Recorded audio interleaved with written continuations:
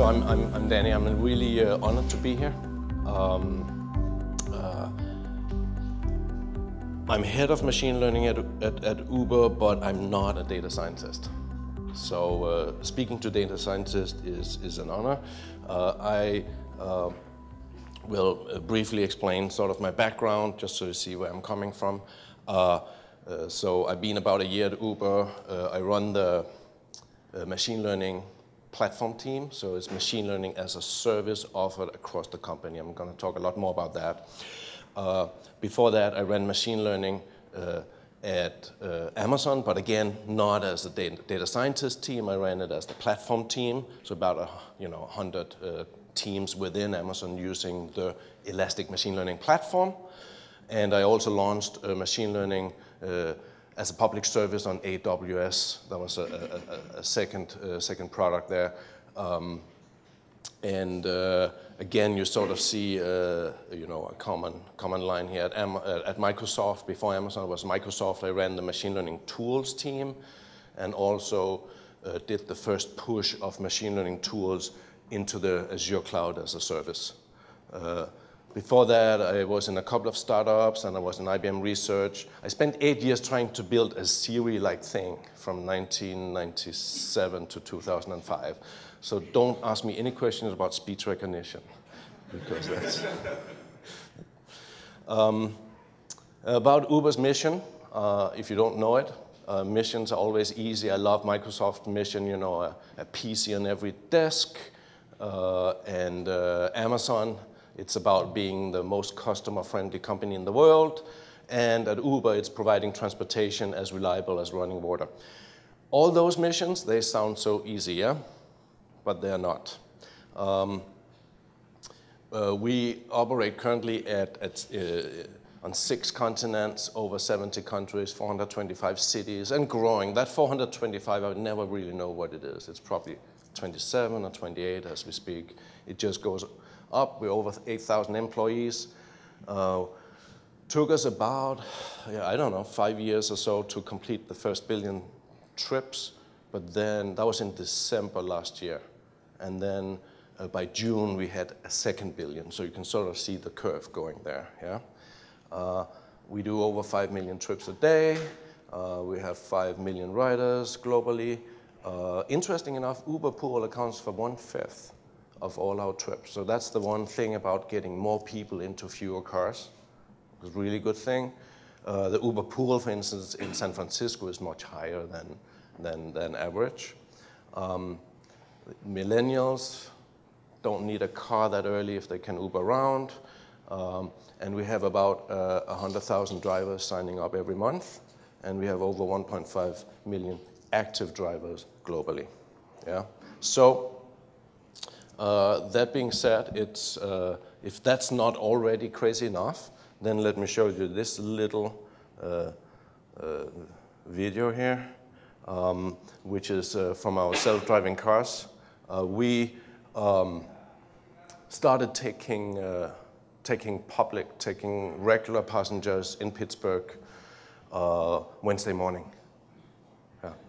So uh, this is a bit what, what the experience looks like, uh, and there's a lot of press coverage about it, but we've been basically been doing this for, for, for, for 18 months.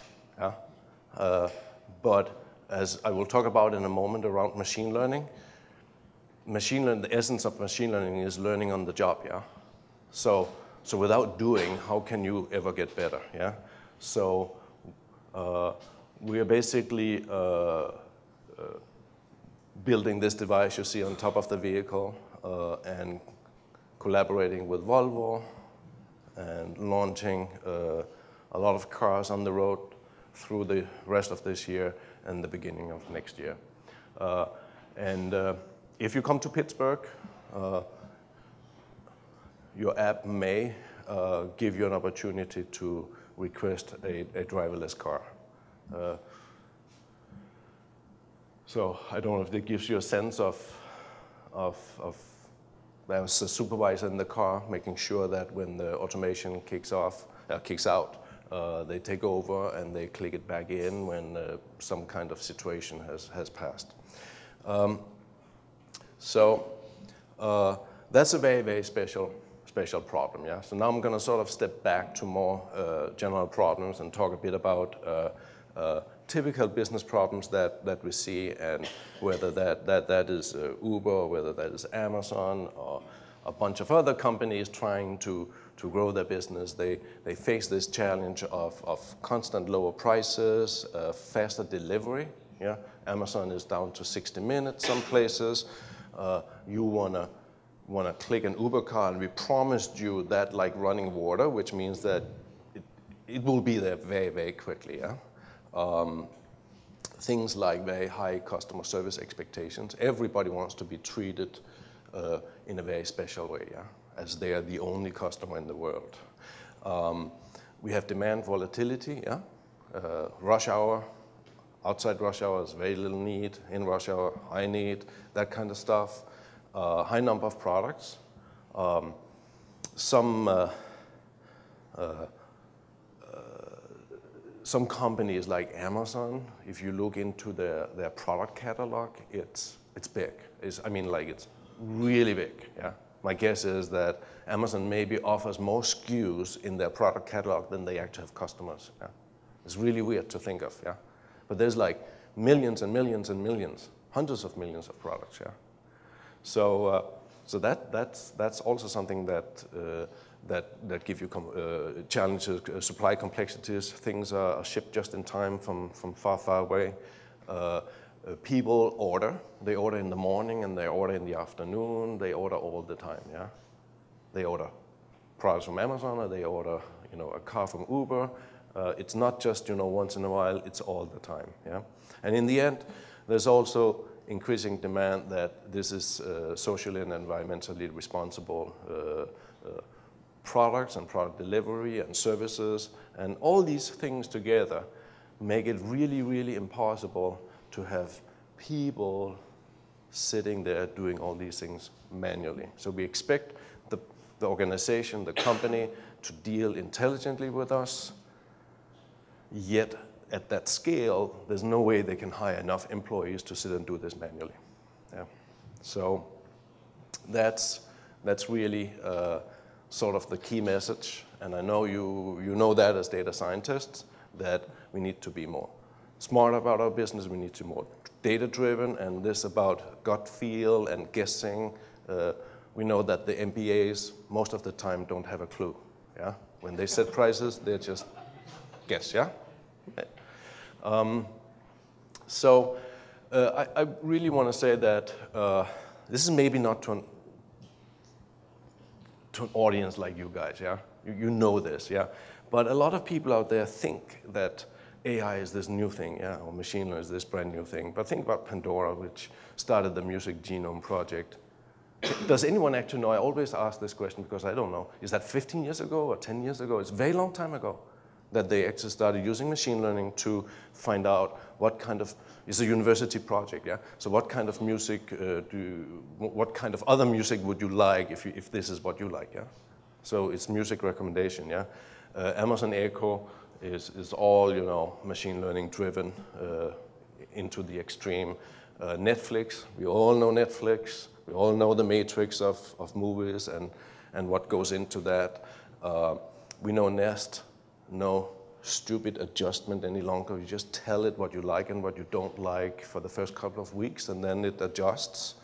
And uh, Xbox One, I mentioned that because the, a part of Xbox One is Xbox Live. And to get the kids to come and play uh, over and over and over, you need to ensure that they have an awesome gaming experience. Yeah? That's machine learning in there too to match gamers up so that they maximize fun. Yeah? Uh, and of course, at Amazon, there's like machine learning everywhere. Yeah. So I want to uh, talk a bit about, very quickly, uh, about sort of a move from, from, uh, from uh, very specific algorithms like, like uh, the Minimax algorithm uh, by Claude Shannon in, in back in 49, um, which is really an, an, an, idea that you, you, you play a, um, you, you build a game a, chess playing algorithm and, and, and you really optimize it and you, you, you really understand the game and you implement the strategy of the game into the algorithm. Uh, So it's kind of really hardwired. And then you see a shift over the years to uh, Deep Blue uh, playing chess uh, when I was at IBM. Uh, custom hardware, custom software, but you know, a step up. Uh, it was very famous for, for using some brute force approach because we had more computing power at that time compared to 1949. Um, Watson uh, wins Jeopardy in 2011. Uh, another step up where there was uh, tons of curated data. It's a Q&A system. Yeah, but all these first three systems are really, really, proprietary hardware in a sense and proprietary software. It's algorithm driven and it's handcrafted. Um, when we move to, to AlphaGo, uh, it's sort of a shift where it's still some of the hardware is proprietary, the ASICs in there, but you know they're not really that, that special. They're just optimizing certain things that are pretty well known. They use GPUs and they use deep learning which is sort of a more generic algorithm, if you want to put it that way. Yeah? So what, what I think we're seeing is we sort of see a shift uh, from uh, algorithm and rule-based uh, custom solutions to things like reinforcement learning and on commodity hardware and software. Yeah? See this shift uh, that I'm going to talk a bit about today. Um, what was before machine learning? Well, that's 99% of the world today. Uh, it's really the all-knowing programmer writing a program, take some input, produce some output, and then there's some feedback. It's typically a bug database or customers calling and complaining. Yeah? The thing is not doing what we expect it to do. It's old, old thinking, yeah? It works really well with sort of small scale, you know, or even large scale transactional systems, yeah? A deterministic system. This is Newton up here, yeah? Everything can be computed, past, present, and future. Yeah? Yeah, 1691 or something like that, yeah? That's how most programmers think today, yeah? You're data scientists, you know better, yeah? You know that it's much better to have a learner and use historic data. Don't try to figure it out yourself, yeah? Don't try to implement every little if statement in there and think that you are the all knowing, divine programmer who knows everything about the business. Yeah? Take the data, use a learner, build a model, take new data in, and make predictions on those data. Yeah? use that for decision making.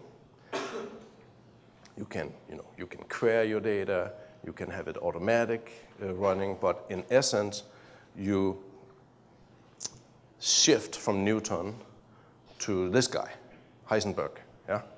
uh, which is all about uh, indeterminacy. indeterminacy. What was, is that right? Yeah, I think that's right. Um, it's, it's really about everything is about probabilities. Uh, the closer you look at things, the less you know. Uh, that's really how a lot of business should be driven. Yeah, it should be based on probabilities and distributions. Yeah, and you see that. Uh, I'll give some examples later. But when you see a, an ETA for an Uber Eats meal, you will see a, the, the food will be in, in your hand within this time span, yeah? This is the most likely period of time you're gonna get it. And then as time progresses and we know it better and better, it narrows down, yeah? But that's doing business based on probabilities, okay? Now, now that we have established a system where we get all this data in from our customers and we have all this experience and we use that experience to make decisions. We're not done yet, yeah? This is, this is where a lot of machine learning stops and say, good, I give you predictions, run with the predictions and do whatever you need to do, yeah? But I want to talk a bit about, you know, dogfights and bandits, uh, and uh, you may have an idea what, at least what the bandits are, but let's, let's talk a bit about the dogfights. Uh, John Boyd, uh, father of the F-16 plane, studied uh, dogfights in the Korean War and found out that the guys who could maneuver their planes faster than the enemy were typically the ones who would win out. Yeah? So that um, led to uh, sort of his proposal of uh, what he called what we call the OODA loop, which is uh, observe, orient, uh, decide, and act. Yeah? So you can imagine in a dogfight, the pilot, that's what they're doing. Yeah?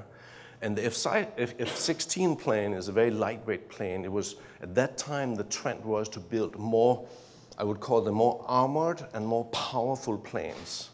But physics will be that they will make much, much, much slower turns. Yeah? And the F-16 is a very lightweight and very fragile plane, but it can make very rapid turns. Yeah? Sort of the idea. Um, he uh, really pushed this and later on pushed it into a business thinking. Uh, and uh, he, I was very surprised when I read his paper uh, because he sort of, I thought about Newton and Heisenberg and stuff like that sort of before I read this. And he took it a step further and brought in uh, Kurt Gödel in there, uh, talking about uh, that basically, it, you know, any model of reality is incomplete and you sort of need to constantly improve it. And I'm like, wow, that sounds like machine learning. Um, he also brought in Heisenberg, which we already talked about, or who we already talked about. And then also that anytime you try to construct these models, you know, uh, entropy will, will try to destroy the model for you when you drop it on the floor, yeah? That it will try to work against you all the time, yeah? So the thinking is that you use machine learning to make these predictions, yeah? That's the observe and orient part, and now you, you, you do the decide part, and then comes the important part is that you do the act, which is that you use your prediction to carry out an action. Yeah? And we need to here capture the result of that action. Yeah? So it's not just enough to do machine learning to make the predictions, to even carry out the action based on those predictions. We also need to realize that uh, uh, that we're dealing with, uh, with uh, multi-armed bandits here. So I, I, I, I, suspect, since you're data scientists, you all know sort of the bandit algorithms and the idea behind that, yeah? Yeah, I see a lot of people nodding, yeah. So it's very important in a business context to apply this, yeah? And it's very important to understand that, um, that it's, uh, uh, when we carry out these actions, they had to be carried out in, in the context of uh, a trade-off between uh, exploitation and exploration. Yeah. So whenever we use our machine learning to make these predictions, to take these actions, we actually need to take multiple actions and measure the result of that. Yeah? And uh, we actually have to think about that while it's going to cost us, and there may also be an adversarial environment. Yeah? So uh, if we look at the multi-armed bandits, yeah, there may be someone running around behind the bandits and changing the probabilities all the time, depending on which one we play on. So that's how business is in the real world. Yeah? So when you're trying to offer people discounts to incentives or discounts to ride with Uber, uh, what is the right, right amount of, of, of, of discounts you should offer? Nobody really knows. Yeah? So we use machine learning to make predictions about who should we give these discounts to, and then you, you wrap that into a multi-armed bandit concept of trying to determine the right amounts for the right uh, group of, of, of, customers. Yeah? Uh, this is actually something that, let's see if I can get to it here. I want to show you this little video because it, it, it popped up on my Facebook account one day in the news stream. It's from the Olympic Committee, but I thought it had relevance to what we are talking about here. So if you look at this, this is high jump through the times from 1896 to 1968. So watch carefully how they, how they improve over the years from Olympics to Olympics, yeah? Look at the style, they still do scissors, but they start, you know, turning their bodies more and more. Uh, this guy is pretty impressive and then look at that one. That's a Western roll. Now they change style. And then one guy said, well, I'm gonna, I'm gonna change it completely. Yeah? Uh, and uh, instead of doing the Western roll, I'm gonna turn my back to it. And that's how you jump, you know, really, really high, yeah? So I'm gonna show this other video, yeah? This is not an Olympic high jumper. This is a mechanical snake. This is a video from uh, Carnegie Mellon. Uh, one of the people behind this video, the Professor Jeff Schneider, is actually working on self-driving cars for Uber now. Yeah? But I show this video because it's, it's very easy to understand what I just talked about if you think about how this snake is trying to do business. Yeah? The snake is trying to cross the barrier. Yeah? Uh, and I'm going to show you first. You have to watch out here. There's a lot of stuff going on. Yeah? First, the snake is trying to, uh, yeah, that's, that's the guys, and Jeff Schneider is there. Uh, it, it, it's really just a, a, success failure. They put up the barrier, and the poor thing is trying to get over, yeah? And it cannot, you know, it has a reward function, uh, you know, either I get over or I don't, yeah? True or false. It cannot figure out how to get over, okay? So what do you do? You make it easier, yeah? So it will now figure out how to climb a tiny thing, yeah? This is reinforcement learning in practice, yeah? So now the thing figures out how to cross the little thing, yeah? Now watch. We made it a little higher. Now it's trying to use the same technique. Uh, yeah. Yeah. It works its way higher and higher, yeah? It learns, yeah? Now it's getting pretty good at it, yeah? Now watch. Look, that was the initial one. It couldn't figure out how to get over. Now it's trying to use what it learned previously. And look, look, look, look, look. There, ah. there we go. There we go. Yeah? And now we raise it higher and higher, yeah? So that is really an example of the OODA loop, yeah? This snakes very quickly. Now we run this, this is real time, yeah? The other ones was 10x, yeah? Um, the faster you do this loop, where you make some prediction about what to do, you try to do it, you measure the output, and whenever you, you, you, you, you, you do something, you have this exploitation, exploration ratio. You have these two functions that compete yeah? Uh, about doing what you know is a success story and what's, what's unknown. Yeah? And think about this little snake here as, as your next uh, MBA running your business, yeah? Huh? Okay. Um, what's interesting in this context is that if you look back to my diagram with Heisenberg, where you have historic data, you build a model, you make predictions, and now you make multiple actions, you tie that into an A-B testing framework, and uh, you, you take the feedback and improve your business. Yeah? Okay? So when you run a really, really big business like, uh, like, uh, like Uber, yeah, uh, we have a lot of data scientists, yeah, a lot of data scientists. But we also have a big uh, machine learning platform team. And what we're trying to do is to basically create that loop where we do a better business, yeah? So we offer every team in Uber a rich set of proven learning algorithms scalable infrastructure, you know, big, big of servers where you can do your machine learning on, uh, can handle very large data sets. We integrate with our key data. So we have, for instance, like a feature store that uh, contains all, you know, our, our, our driver, rider, trip information, all the standard information, so that when you, as a data scientist or software engineer, want to build a model you have all the core data, and then you can bring some unique data from your, your part of the business, from your app or your service. Um, a lot of automation and a lot of model management. Uh, this is really powerful. Can rebuild these models uh, all the time uh, and integration with, with A-B testing. Yeah?